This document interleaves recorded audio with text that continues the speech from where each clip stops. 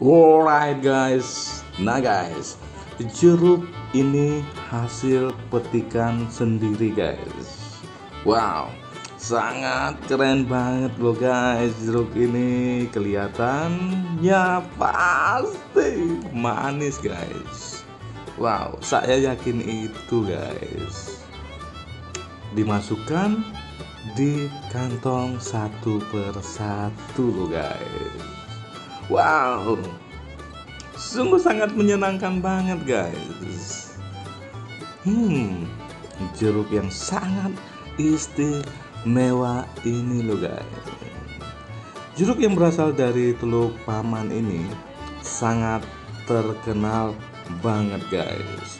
Namun asal usul jeruk ini bibitnya itu loh guys. Saya tanyakan tadi dengan abang ini asalnya dari Kuo guys. Alright guys, sampai di sini dulu. Wassalam. Bye.